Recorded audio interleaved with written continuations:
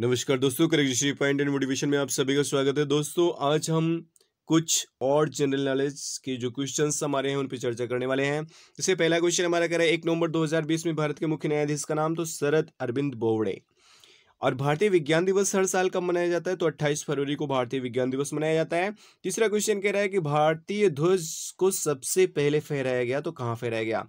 कोलकाता में फहराया गया, पारसी बागान स्क्वायर में। तमाशा किस राज्य का लोक नृत्य है? तो महाराष्ट्र का लोक नृत्य है। पांचवा क्वेश्चन हमारा कह रहा है, सर्वाधिक सॉरी, सार्वजनिक रोज़गार में इक्विटी का अधिकार किस लेख में दिया गया है? तो अनुच्छेद 16 में नाट्य शास्त्र के लेखक भरत मुनि थे। और सातवां क्वेश्चन कह रहा है, विश्व में ताजे पानी की सबसे बड़ी झील तो लेक सुपीरियर ताजे पानी की सबसे बड़ी झील पूरे विश्व की। भारत में तापीय ऊर्जा का सबसे बड़ा उत्पादक राज्य महाराष्ट्र है। नवा क्वेश्चन हमारा कह रहा है फोर्ट्रान का पूर्ण रूप क्या है? तो फोर्ट्रान मतलब फॉर मतलब फार्मूला ट्रान मतलब ट्रांसलेशन मतलब कि फार्मूला अनुवाद बोलते हैं। अंशुला काथा, जो विश्व बैंक की वर्तमान एमडी हैं, किस बैंक की एमडी रह चुकी हैं? तो भारतीय स्टेट बैंक की एमडी रह चुकी हैं और वर्तमान में विश्व बैंक की एमडी हैं। अगर आपसे विश्व बैंक की एमडी का नाम पूछा जाए वर्तमान में तो आप कह सकते हैं अंशुला कांथा जी हैं। नेक्स्ट क्वेश्चन कह रहा है, जब ग्लूकोज टूटता है तो यह चेंज होता है, किसमें चेंज होता है? तो चेंज होगा देखिए, ऑप्शन दिया गया है और जब ग्लूकोज टूटेगा तो ये पैरविक एसिड में चेंज होता है, दोस्तों। ध्यान रखिएगा आप लैक्टिक एसिड में नहीं कन्वर्ट होगा और साइटोप्लाज्म माइट्रोकांडिया तो सेल ऑर्गेनल्स हैं। तो इसलिए ये पायरविक एसिड में कन्वर्ट होता है। अगला है, अम्ल और क्षार से एक प्रश्न। छोड़ दीजिए इसको। देखिए, यहाँ पे क्वेश्चन तो सॉरी टाइपिंग में मिस हो गया है। नेक्स्ट क्वेश्चन देखते हैं। निम्न में से कौन सी इमारत एफ़ डब्ल्यू स्टीवेंस द्वारा निर्मित की गई? तो छत्रपति शिवाजी टर्मिनल।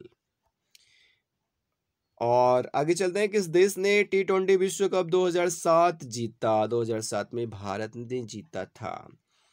अगले वर्ल्ड वाइड वेब के संस्थापक टिम बर्नर्स ली जी हैं। ऑस्ट्रेलिया की राजधानी कैनबरा है। ध्यान दीजिएगा, ज़रूर जानिएगा, याद रखिएगा। और फिर है, संक्रामक रोग से एक प्रश्न, ये भी मिस हो गया है। चलिए आगे चलते हैं। 1907 में आईएनसी सत्र कहाँ आयोजित किया गया था? तो सूरत में। 1907 में आईएनसी सत्र सूरत में आयोजित किया गया था। किस देश ने आसियान देश आसियान की स्थापना की थी? तो आसियान देश, देखिए, आसियान देश के अंतर्गत कौन कौन आते हैं? Brunei, Burma, Cambodia, Timor, Leste, Indonesia, Laos, Malaysia, Philippines, Singapore. और आगे देखेंगे तो थाईलैंड और वियतनाम भी आते हैं। चलिए नेक्स्ट है, भारत में पहली यात्री ट्रेन कहाँ शुरू की गई थी? मुंबई से ठाणे के बीच अठारह सौ तिरपन में लाल डलहौजी जी द्वारा। आगे है, नदी डॉल्फिन मछली, किस नदी में पाई जाती है? तो डॉल्फिन गंगा। गंगा को विकल्प में नहीं दिया गया था, फिर भी गंगा डॉल्फिन। आगे बीएचयू की स्थापना के दौरान किस महान पराश्रिता ने भाषण दिया? तो बीएचयू उन्नीस में स्थापित महात्मा गांधी ने उन्नीस सौ बयालीस में बीएचयू में भाषण दिया था। किस मेमोरी में अस्थाई डाटा को कंप्यूटर में स्टोर किया जाता है? तो कैश मेमोरी जो होती है, उसमें अस्थाई डाटा को कंप्यूटर में स्टोर किया जाता है। तो ये थे कुछ जनरल नॉलेज के क्वेश्चन मिलते हैं नेक्स्ट वीडियो में कुछ और क्वेश्चंस के साथ। तब तक के लिए धन्यवाद।